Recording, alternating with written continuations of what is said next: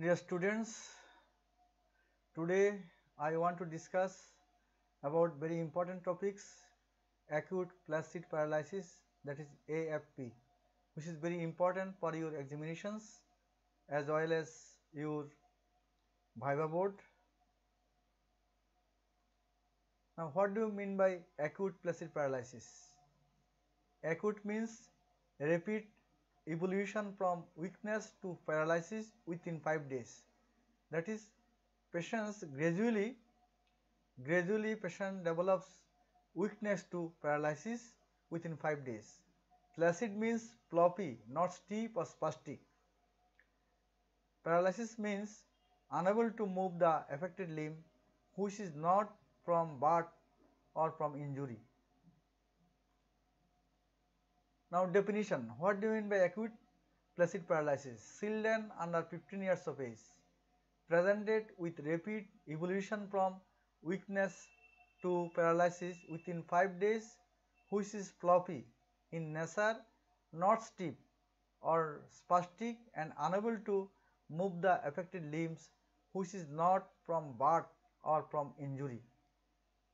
So, age of the children must be less than 15 years and must present from weakness and gradually develops paralysis within 5 days.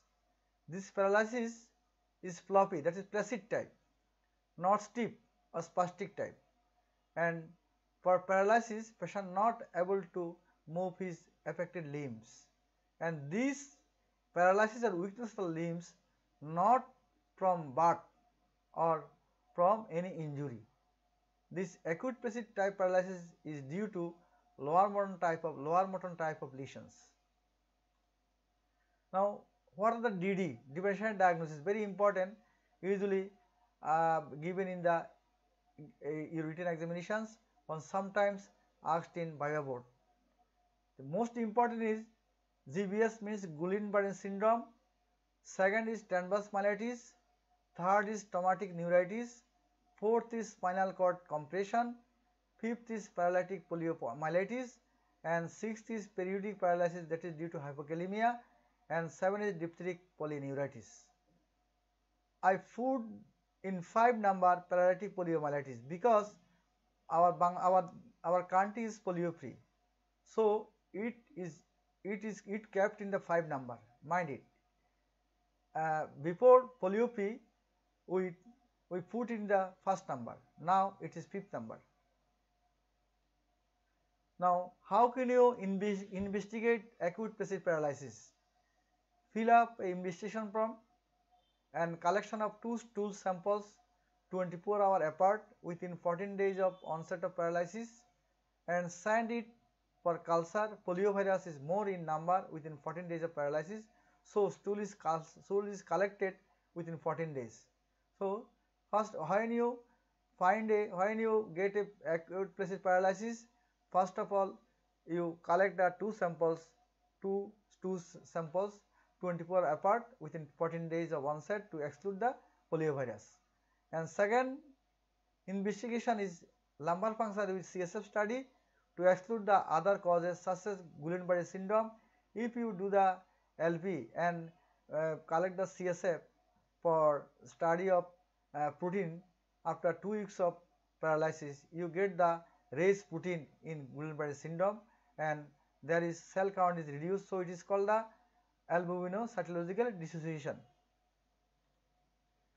Nerve conduction velocity abnormal in polio and Guillain-Barré syndrome.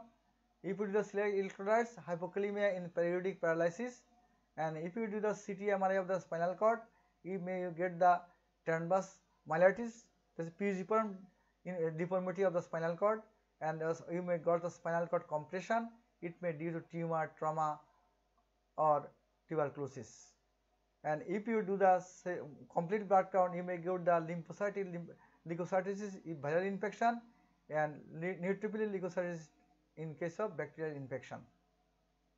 The differentiation between the poliomyelitis, Guillain-Barré syndrome, transverse myelitis and traumatic neuritis. Site of lesion anterior horn cells of the spinal cord and motor cranial nerves of medulla oblongata in case of poliomyelitis, and site of lesion in case of Guillain-Barré syndrome is peripheral nerves. In transverse myelitis, there is inflammation of the spinal cord across the wide of one level or segment of the spinal cord. Uh, injury of the sciatic nerve in case of traumatic neuritis. History Fever, headache, back pain, paralysis after oral polio vaccination. It is more common history in case of poliomyelitis. In Guillain-Barré syndrome, there is 1 to 4 weeks preceding history of GI tract or respiratory infection. In case of transverse myelitis, there is preceding viral infection. In case of traumatic neuritis, there is history of trauma or IM injection in gluteal region. Fever at onset, high fever always present at the onset of paralysis in case of poliomyelitis, but in case of Guillain-Barré syndrome, fever is uncommon.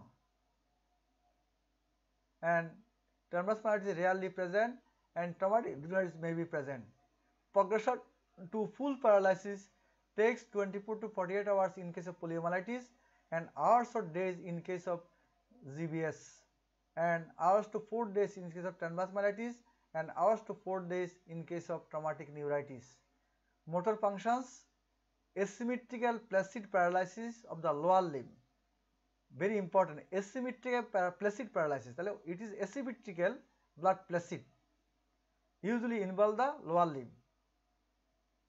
And proximal muscle are more affected than distal muscles. So involve is the proximal muscle more common than the distal muscles this occurs in the poliomyelitis but in case of GBS there is bilateral ascending type of flaccid flaccid symmetrical bilaterally. So it is flaccid type. Or lower limb distal muscles are more affected than proximal muscles. In transverse myelitis, initially bilateral flaccid paralysis of the lower limb due to spinal shock and after that subsequently patient develop bilateral spastic paraplegia that is upper motor type of lesion after disappearance of spinal shock in case of transverse myelitis.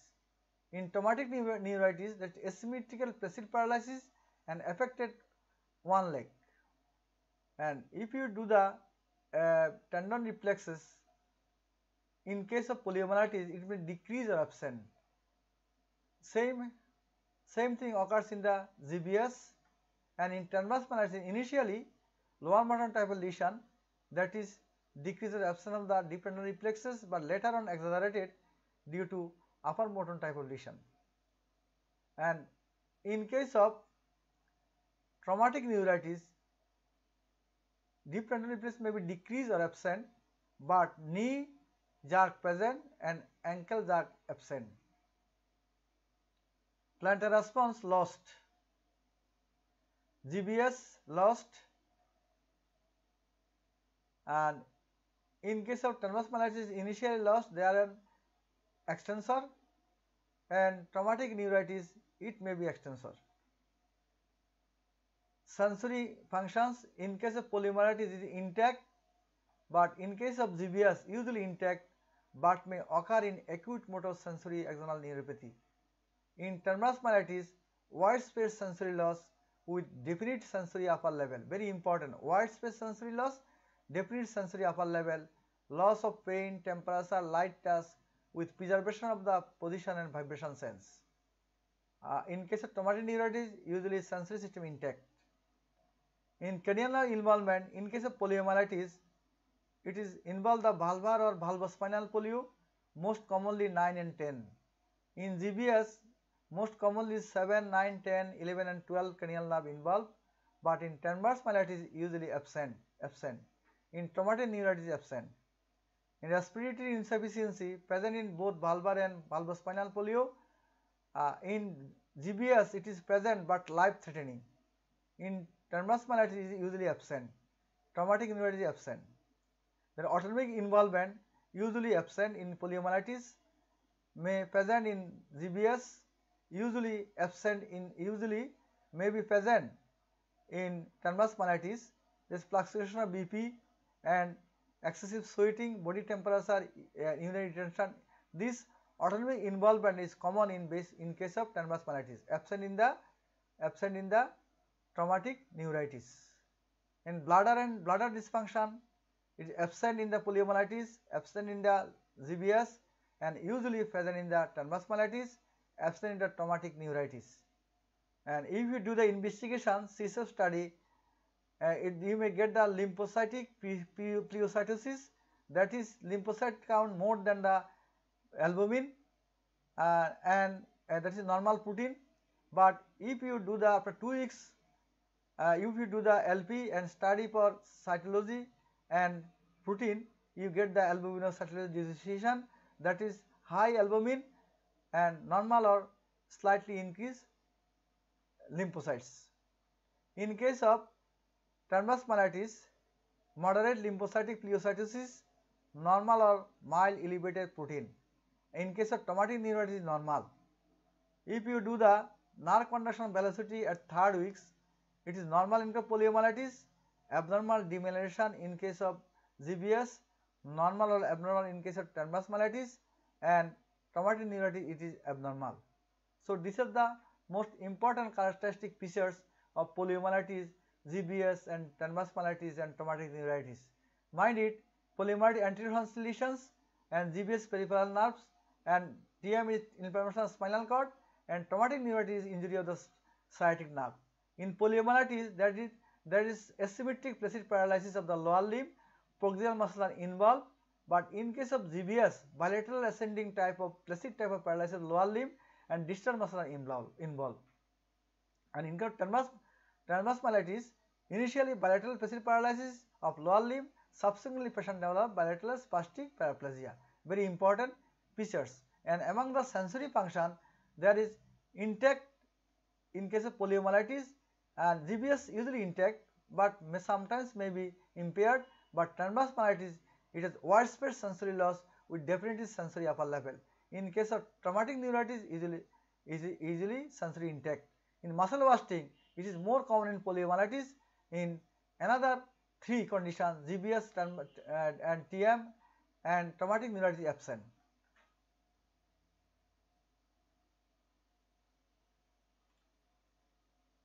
And dear students, the, we will ask you in Viva board, what do you mean by AFP, acute flaccid paralysis how can you investigate AFP and what are the differential diagnosis of AFP. Thank you.